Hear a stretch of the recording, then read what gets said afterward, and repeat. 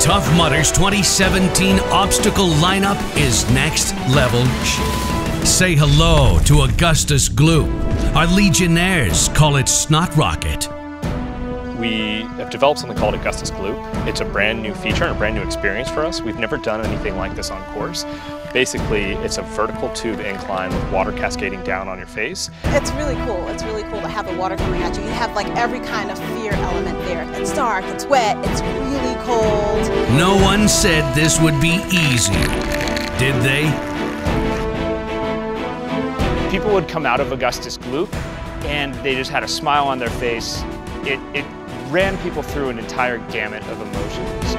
Perhaps the biggest mental challenge ever put on course. Step outside of your comfort zone. Escape the ordinary.